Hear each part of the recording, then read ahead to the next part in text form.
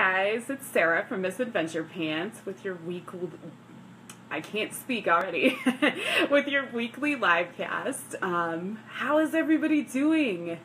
As you um, join in, go ahead and um, comment so I know you're here. Let me know how you're doing. Let me know what you're doing this weekend. Hey, this is so cool. I'm just going to wait a couple minutes just because a lot of times it takes a couple minutes for people to join. Um, I'll show you my beer. I'm having a beer while we do this. so this is the the Brainless Raspberry from Epic Brewing, which is um, one of our favorite breweries here in Colorado. It's actually um, up in RiNo, River North, in kind of an old industrial neighborhood that's con- they've converted all the warehouses up there into kind of hip breweries and um, like eateries, and it's great. So, um, sorry, just playing with my phone. Hi, I can't see who's here for some reason. I don't know. This app is making me crazy, but um, hello, thank you for joining in. It's so good to see you. Comment and tell me who you are so I can see because the app is not going to show me. I don't think. Um, and tell me what you're doing this weekend. Um, I was supposed to be going up to climb a snow couloir this weekend. We are going to climb kind of a steep one to get ready for Mount Rainier, which we're still hoping to do, even though we don't have our permits. But um, I don't know if you guys know, some of you guys might be from outside of Colorado. Um, we're having a huge snowstorm here, and they're getting eight feet of snow between Wednesday and Friday up in the mountains. So that's just astounding to me. There's so much snow. We're to be climbing snow. Jenna, hello! How are you? It's good to see you. What are you doing this weekend? You can comment and tell me. yeah, so, yeah, eight feet of snow. Um, we, we're to be climbing snow into August, September this year. I, I really think so. There's so much up there.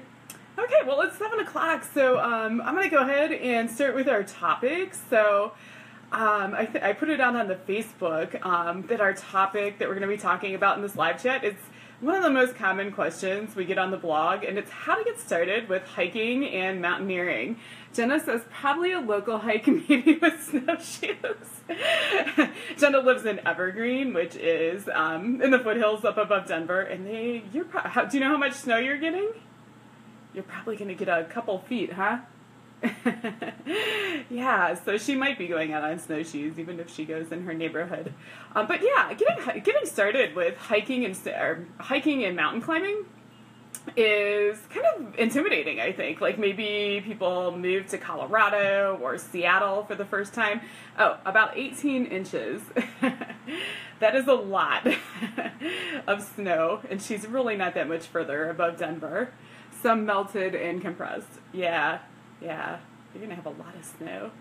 Um, but yeah, um, maybe you've moved to Denver from somewhere else or Seattle, or maybe you're you know you're in someplace like Ohio or the South, or and you're wondering you know how can I get started with hiking and mountain climbing. It sounds like a lot of fun. And the good news is, no matter where you are, I really believe you can get started. Um, I really think there's two things you need when you're a beginner um, to get into it. And the first thing is skills. Um, and that kind of depends where you are and what you're doing. Obviously, if you're going to climb um, a big mountain, like a class five pitch with ropes, you need a lot of skills. Uh, but I think you also need skills if you're just going out and hiking with your friends. I think that's really important. You need to, uh, for example, here in Colorado, you need to know things like how to dress. So if you get wet, you won't freeze and get hypothermia, which is actually one of the most dangerous things that it's the number one reason for fatalities in Colorado amongst outdoors people is hypothermia, and that can happen even in the summer. So needing to know how to dress, um, how to you know where to get a map, how to follow it so that you don't get lost, um, how to get help if you do get lost. Um, how to avoid hazards, things like lightning, things like avalanches, um, and these can happen anywhere. Um, I'm talking, I'm kind of most familiar with Colorado, but you know, even when I'm from Ohio, so even when I was hiking there, we had things like lightning, and it could get really cold if you were wet. So anywhere you are, I think you really need skills. Another thing you need is community. I think community is so important. Um, and I mean, Jenna, who's on here, and oh, someone else has joined. um, I think anyone can attest that we make some of the best friends of our lives hiking and backpacking and mountain climbing. Um, it's wonderful. You really um, have a chance to be. It's one of the the few places I feel like you can be with people now without being like people on their phones and people being very distracted by their social media. Um, at least here in Colorado, we don't get a signal up in the mountains, so everybody's completely offline. You really have to talk to each other like it's the 1990s, and it really is just great for your relationships. There's people that I've been on backpacking trips with for a couple days that I just feel so close to, and it's just wonderful. Um, Another great thing about community is you can do things that maybe you can take a little bit more risk than you would if you're by yourself. Um, I'm going to talk about ways to meet people and learn skills in this, but there's you know there's no reason you can't do um, you know hikes you feel comfortable with by yourself. Um, obviously, have a way to communicate, have a way to um, know what you're doing, but um, you know, easy stuff. Uh, we all do it by ourselves. But if you want to take a risk, if you want to do something harder, if you want to step it up a notch, you're definitely going to want to find people to do that with. So, so where do you find people and where do you learn skills? Um, let me give you a couple of places you can look.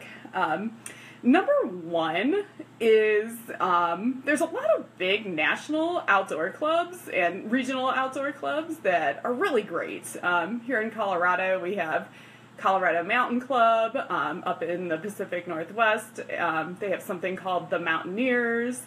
My friend who moved here from California was really active in the Sierra Club. And then out on the East Coast, things like the Appalachian Mountain Club are really big. So a lot of times these clubs will have local chapters, they'll lead hikes where you can just all get together and go hiking. A lot of times they'll also offer classes. Um, I know some of the, I've learned like, I've gone from just being like a regular hiker who just walks around to now I can climb snow, now I can climb some easy rock. Um, I'm going to Bolivia to climb a 21,000 foot mountain in September, and those are all things that I learned in Colorado Mountain Club. They have very inexpensive classes that are taught by volunteers that are they're pretty good.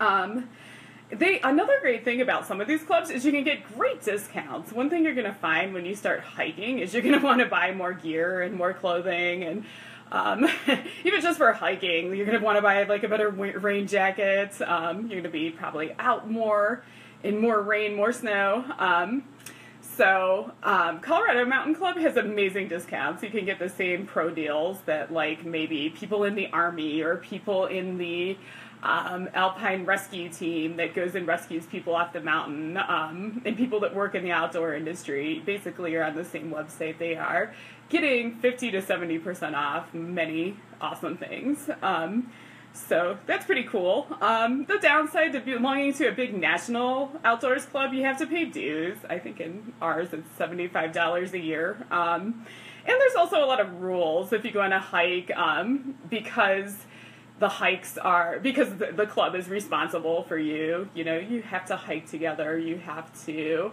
look out for one another. You know basically the leader makes decisions because they're responsible. So in some ways that's great. Um, the leaders in these clubs do tend to be pretty um, well vetted but you know, if you're a person that just likes to do your own thing, I think it can be a little bit tough. So, big national outdoors clubs, um, definitely one place to look if there's no club by you or you know if you're maybe wanting to you know have something additional another really good one is meetup. Uh, meetup.com it's a website.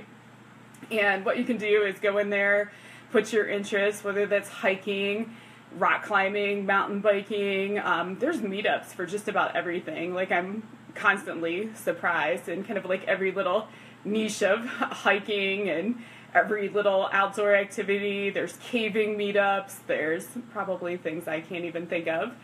Um, so what meetup is, it's, it's just very informal. Somebody decides they want to start a little hiking club. Um, the, they're called an organizer, and they, will send out an email like, "Hey, I'm leading a hike to uh, Mount Falcon, and we're all going to meet in this place. We're all going to carpool over. Here's what the hike is like. Um, if you want to join, go ahead and you just basically hit a button and sign up." Um, so where I am in Denver, meetups are a huge thing. Like it's awesome. Um, when I first moved to Denver, um, I was in like a lot of hiking meetups, and then also just a lot of social meetups. Like you can do things like, hey, let's all go to the rodeo, or let's all go to a concert. Um, there's just million. I belonged to like 30 meetups, and that was my entire social life. And for years, all my friends, and still many of them, are friends I met in meetup. but Meetup is great. It's a great place for hiking. Um, another thing you could do if you're in a place like um, I had a friend that was recently living in Austin who just moved back here, but when he was in Austin, there weren't there wasn't a hiking club, so he started a hiking meetup in Austin, and it's um, about 15 bucks a month to start your own meetup. I think he teamed up with one other person to kind of split the cost and keep it reasonable and so they led hikes all over Austin. So that's, of course, something you can do if um, there's just not a lot by you. Um, kind of a downside of meetups is it can be a little bit willy nilly. Um, I actually um, was on a meetup where I got left at the trailhead in the middle of um, the Roosevelt National Forest. Hey, Don. Hello. Ah, it's so good to see you. What are you doing this weekend, Don? You can comment.